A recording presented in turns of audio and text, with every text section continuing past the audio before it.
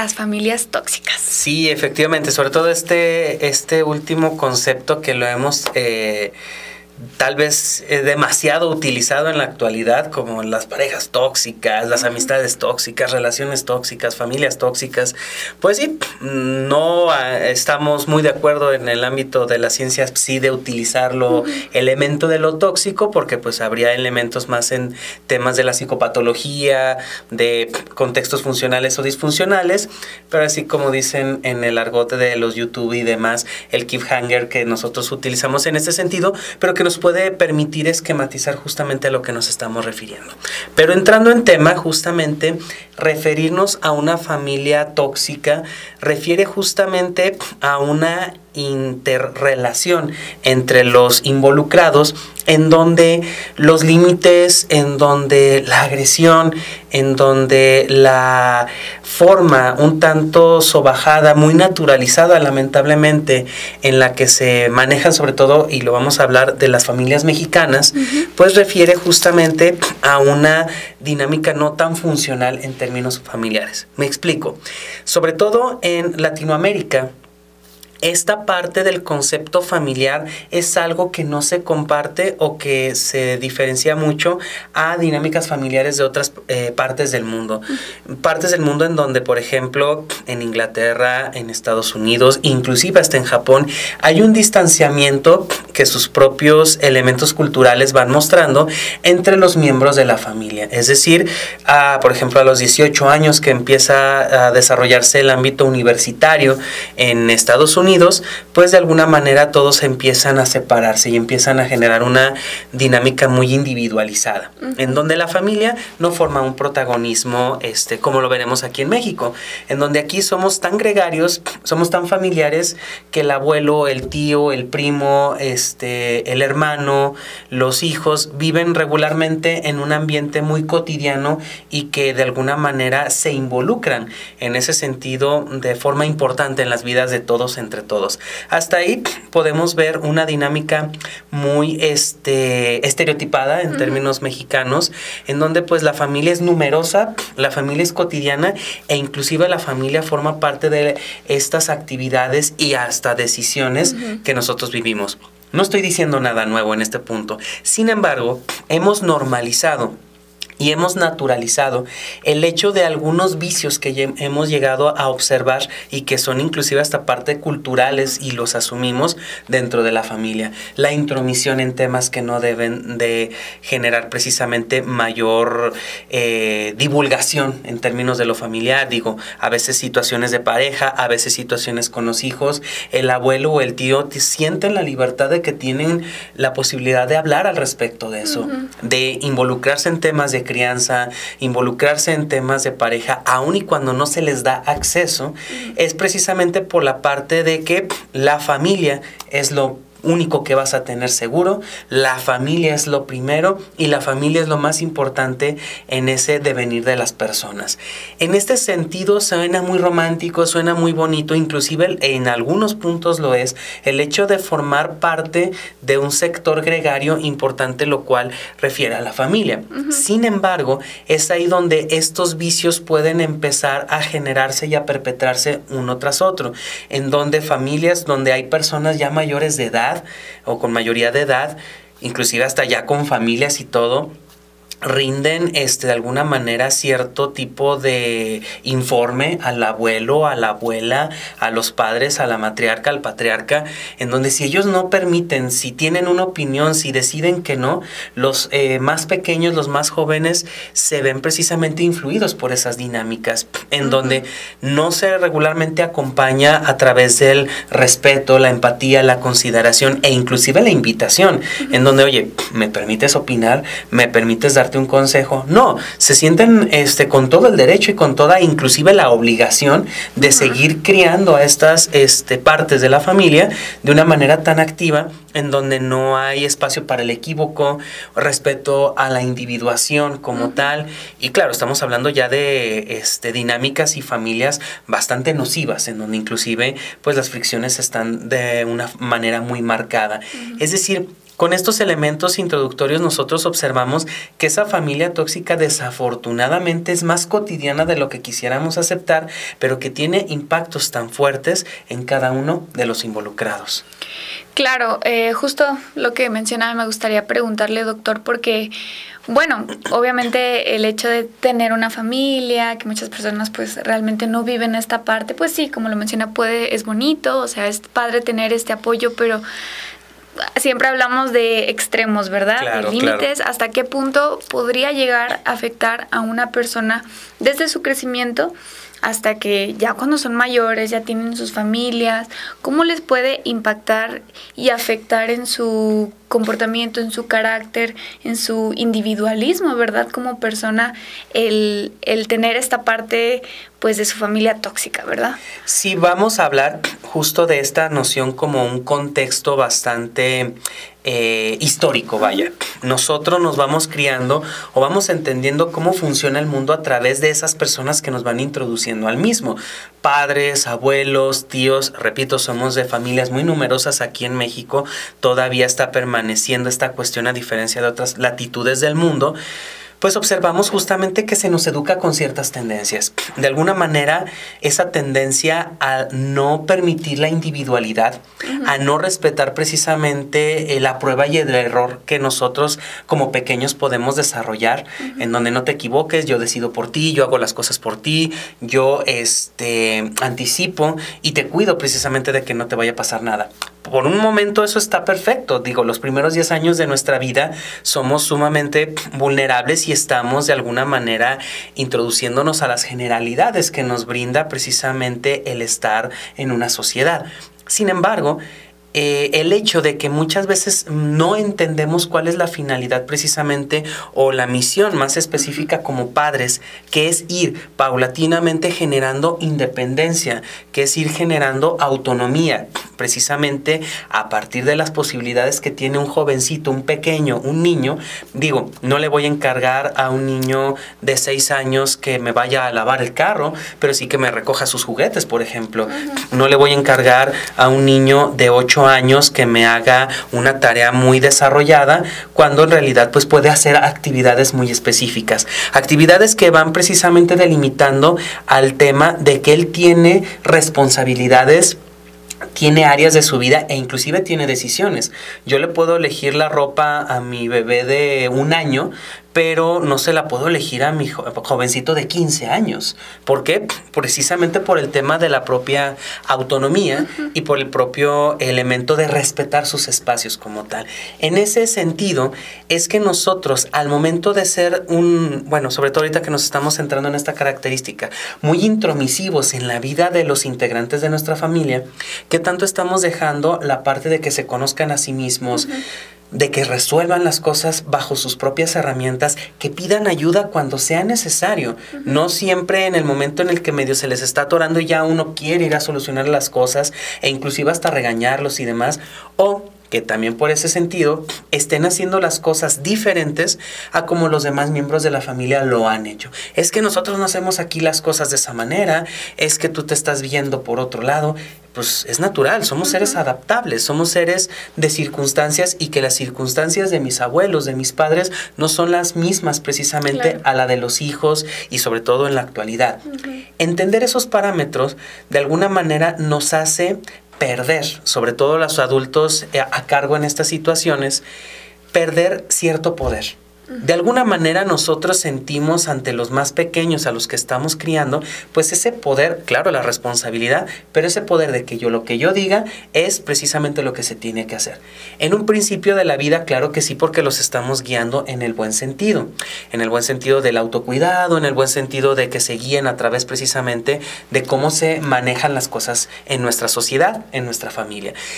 Pero poco a poco tengo que ir cediendo, cediendo perdón, ese, ese poder de alguna manera ya no va a ser la parte de que aquí te cambias de esta manera, aquí hablas de esta forma. Bueno, claro, hay reglas, hay momentos, pero ya no son a través de la imposición, sino también del razonamiento. Oye, mira, es que no hablamos aquí de esta manera tal vez tan altisonante porque es desagradable para las personas y es irrespetuoso. Ok, ya lo voy entendiendo en el tema de que formo parte de una dinámica y que es mejor hablar con mis amigos de una manera, hablar con mi familia de otra.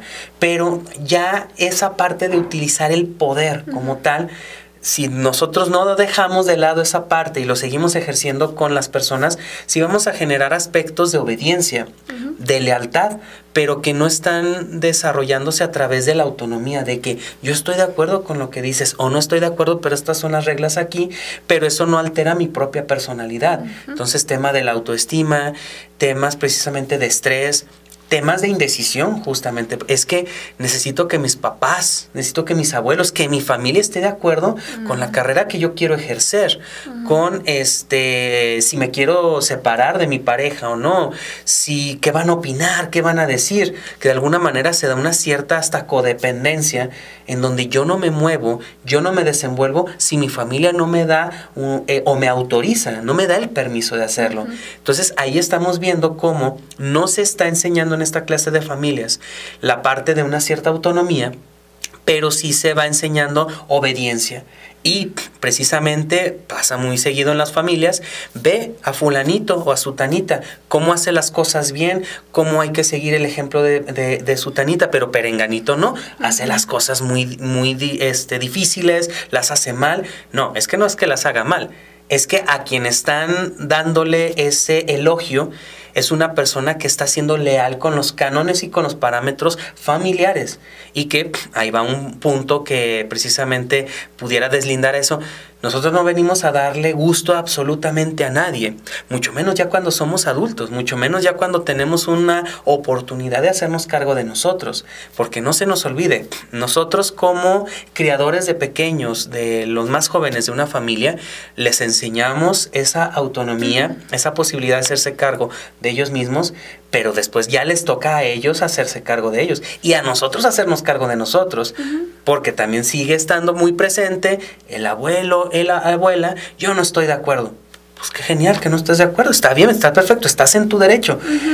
Pero yo tengo derecho precisamente a este, vivir mi vida como yo la desee. Y tanto tú tienes la posibilidad de respetarme para poder precisamente formar parte de la misma. Si no, muchas gracias, te amo muchísimo, pero ahí está tu límite. Claro. Entonces, hablando de esos elementos, no hay cosas gratuitas, no hay cosas este, que de alguna manera no se ganen. El respeto, también se gana como así se pierde. La consideración, los afectos, el que yo me ve involucrado en la vida de alguien es porque lo hago de manera constante, pero de manera suave, de manera este, amorosa y no a través de la crítica, como muchas veces estas clases de familias lo llegan a hacer. Entonces, si se fijan, eh, lamentablemente, y lo digo con esa palabra, hablamos de una cotidianidad que poco a poco ya vamos dimensionando, poco a poco ya estamos empezando a establecer límites, inclusive también va de abajo hacia arriba. Es que el abuelo no debiera de hacer esto, la abuela, mi padre, mi madre no debiera de hacer esto. Ok, ok,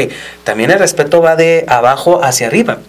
Y no en niveles de verticalidad, sino en niveles de precisamente los más jóvenes entender, ay, es que el abuelo se pasa, es que siempre habla de otros tiempos, siempre... A ver, a ver, que tanto también nosotros estamos siendo respetuosos en las mismas líneas con los diferentes integrantes a partir de sus épocas, características y circunstancias, sin que sea de, somos familia, no pasa nada.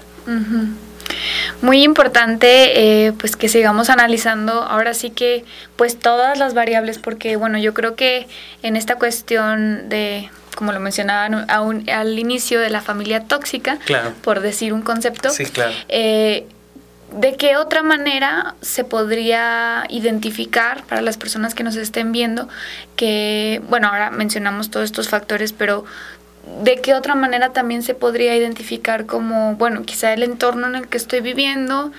Yo ya lo estaba sintiendo, pero por lo mismo que amo a mi familia y la familia es primero, entonces ¿Qué otros factores e-, existen en esta cuestión de la familia tóxica? Para poder identificar justamente que estamos dentro de una situación de esta índole, pues precisamente uno de los elementos, para decirlo con palabras más precisas, es precisamente el buscar complacer a las personas, sobre todo a mis familiares, que estén contentos con lo que hago, me importa mucho lo que vayan a pensar de mí. Ojo, los seres humanos somos así en realidad, somos seres que nos importa muchísimo la visión del otro y sobre todo la visión de esos otros que de alguna manera forman este el concepto de mi familia. Eso es natural y eso es totalmente normal. Tal vez lo que habría que considerar es qué tanto yo me estoy deformando, qué tanto yo me estoy limitando al respecto de que esa complacencia es mi único motivo por el cual yo me movilizo al respecto de las cosas de mi vida. Yo no hago esto porque les va a molestar. Yo no hago esto otro porque no van a estar de acuerdo. Yo hago esto porque les gusta. Oye, pero a ti te gusta? ¿Tú lo deseas hacer? ¿A ti te complace? No, es que... Mm, mi familia es que es quien me importa a mí y yo quiero complacerlos a ellos. Entonces estamos en una dinámica en donde estamos cediendo nuestra propia individualidad para darle gusto a otros. Habría que ver en esa particularidad en cada caso si la familia fomenta eso, si son ideas que yo me creé, si es algo que me están exigiendo y demandando constantemente, en fin. Pero si yo estoy sumamente preocupado por lo que piense mi familia de mí y cuido todos mis movimientos al respecto de eso, quiere decir que ando en una familia con ese tipo de tendencias, o que las hubo o que las ha han habido o han existido. Otro tema es el, miedo al abandono, el que yo esté preocupado porque es que si no les eh, doy gusto, me van a, dejar de hablar, o voy a dejar de ir a las cenas navideñas, o voy a dejar de ir el Día de las Madres, que al final de día es cuando voy, siempre hay pleitos, o siempre hay esto, pero somos familia. Es decir, siempre sentir ese miedo al abandono porque como la familia es lo primero, si no haces esto, no estás dentro de la familia. Como condicionando hasta cierto punto nuestra permanencia, pues obviamente sí estamos dentro de esta dinámica. Otro elemento tiene que ver con la, como la mencionábamos hace un rato, la baja autoestima. Que cuando yo voy con mi familia no me siento nutrido, al contrario, siento que me absorben, siento que hay críticas, siento que hay este conceptos en donde me están disminuyendo, me siento desvalido, no me siento protegido, sino al contrario, me siento atacado, pues eso claro que baja mi, mi, estima de mí mismo y por así decirlo digo, ah, tuve un ascenso en mi trabajo, pues es lo menos que debieras de esperar, es más, ¿y por qué no eres director del lugar donde te encuentras? No, pues gracias por, por los aplausos, gracias por, por el, el, el, ah, cobijarme. Y es ahí donde precisamente este tipo de conceptos, pues claro que bajan el autoestima y nos sentimos bastante desvalidos. Otro elemento tiene que ver con que entre los miembros no se saben decir que no. Oye, este, te voy a conseguir trabajo en tal parte o debieras de hacer esto ah, ok, pues muchas gracias, pero no, yo voy a seguir otro lado. ¿Cómo que no? Si somos familia, ¿cómo me vas a, a ningunear esta oportunidad que yo te estoy brindando? A ver, a ver, a ver, ¿de qué se trata? O sea, se trata precisamente de que es una sugerencia, te lo agradezco muchísimo, pero te voy a decir que no aprender como familia también a que nos digan que no, a entender la frustración de que a lo mejor lo que yo pienso no va a ser eh, llevado o seguido por la persona a la que le estoy señalando eso a mi familiar, está bien, es normal. Ah, bueno, pues era mi opinión, pero qué bueno que te vayas por ese lado, qué sé yo, o no estoy de acuerdo, pero tienes todo el derecho y espero que te vaya muy bien. Es decir, saber delimitar, saber establecer este, esos nos en la familia es sano. Y si no los estoy tolerando como familiar o no toleramos los límites como familia, estamos mucho cayendo en esta clase de familia tóxica.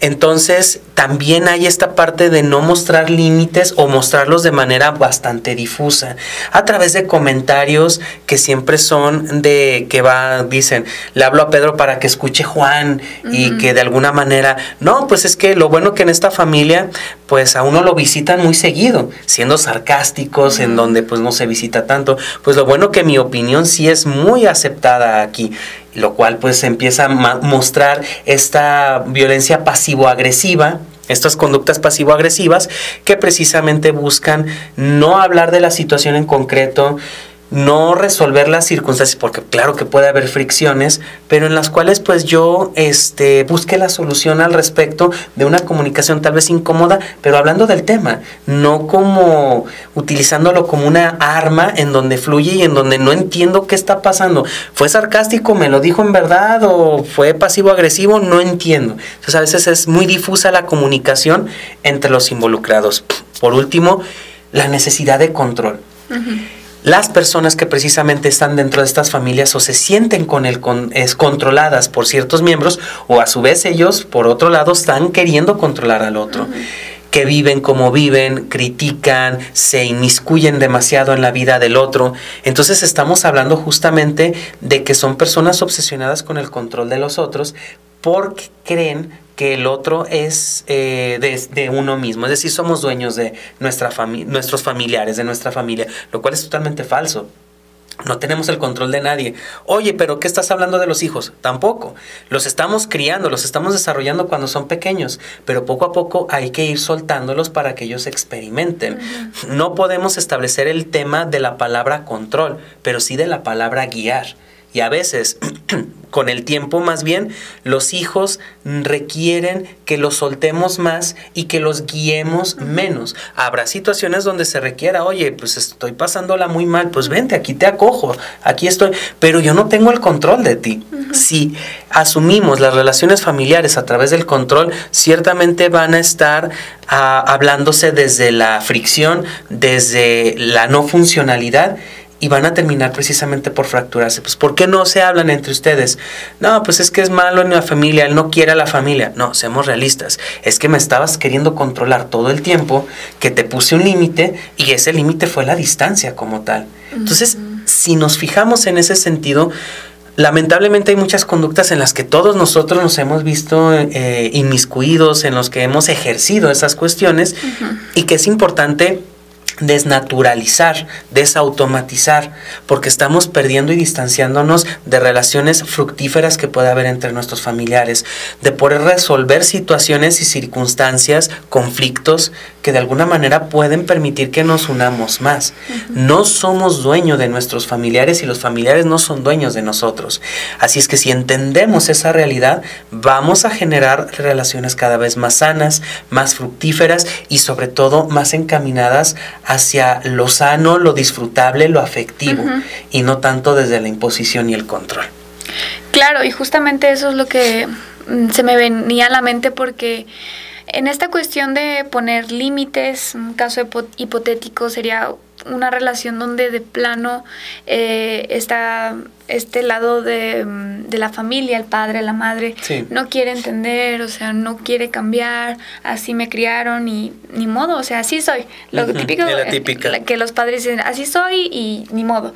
Entonces, pues el hecho de el distanciamiento que menciona y que muchas veces las personas dicen, pero es que es tu mamá y, o es tu papá y siempre lo va a hacer, pero hasta qué punto, ¿verdad? Hasta qué punto llega, ya no es sano, o sea, sí es bueno cortar relaciones, sí es bueno poner distancia, aunque sea tu familia, o hay qué opina, doctor? Definitivamente, y aquí es un comentario muy polémico en diferentes cuestiones, pero sí. Sí hay a veces que, en dado caso de que ya se gastaron todos los cartuchos, todas las herramientas, todas las posibilidades, las invitaciones, hagamos las cosas diferentes, relacionémonos de manera diferente para que esto funcione y no sucede, sí es importante también a veces cortar lazos. Oye, pero es que es mi familia, sí, pero la familia no debe de ser como esa frase tan religiosa que está la cruz que te tocó. No, también hay familia que nos daña. Inclusive hay este, cuestiones de amigos que son más eh, respetuosos, más afectivos que ni la propia familia. La familia no se debe de padecer. La familia no es una carga. Es una invitación a que precisamente eh, mantenemos un lazo sanguíneo, pero ese lazo sanguíneo es tan efímero que debemos pasar al lazo afectivo y los afectos se trabajan, los afectos se desarrollan y no hay otras herramientas más eh, eficientes para esto que el respeto, que la empatía, que la consideración, que precisamente respetar, vuelvo a repetirlo, al otro en toda su unicidad y que yo no tengo el derecho de transgredirlo. Oye, pero veo que está haciendo mal pues en algún momento, si no es menor, si no es pequeño, él tendrá que resolver esas situaciones. Pero a lo mejor el hecho de que por mi visión él haga las cosas bien, estoy sacrificando el tema de la relación, inclusive. Por eso esa parte de que yo, yo, no, yo soy así, no voy a cambiar y demás, ok, totalmente respetable. Pero también vamos a respetar el hecho de que no nos estamos llevando bien. Papá, mamá, abuelos, inclusive hay relaciones entre los padres hacia con los hijos. Hijo, yo no puedo contigo así no me estás respetando, no me estás estableciendo una consideración, estás transgrediéndome, con permiso voy a poner distancia, porque es entre todos. Mucho ahorita lo hemos enfatizado de los padres hacia los hijos, pero hay hijos que también dañan a los padres. Entonces, si ya se agotaron todas las herramientas e inclusive ya fui a psicoterapia, ya invitamos a psicoterapia familiar para que esto pueda resolverse y no hay interés y no hay jalón para que nosotros podamos generar estos vínculos, pues con la pena, muchas gracias, pero tengo que poner distancia. Hablábamos, tengo que poner límites. Y el hecho de yo estar en interacción contigo me está desgastando por completo. Es difícil, sin lugar a dudas. Es muy complejo, complejo y complicado, pero se necesita hacer porque el otro no está poniendo de su parte. El otro no está haciendo las cosas para que podamos generar ese punto de encuentro y de negociación. Entonces, lo siguiente es poner límites. Y sí, aún y con la cultura familiar que tenemos, la familia, repito, no se debe de padecer, no se debe de cargar, no es la cruz que nos tocó. Todos nos ganamos el derecho de formar parte de la vida de alguien o lo perdemos, o que alguien forme parte de nuestra vida o que lo pierda sin eh, respeto, sin empatía, sin consideración, sin este, reciprocidad, no puede haber una relación sana.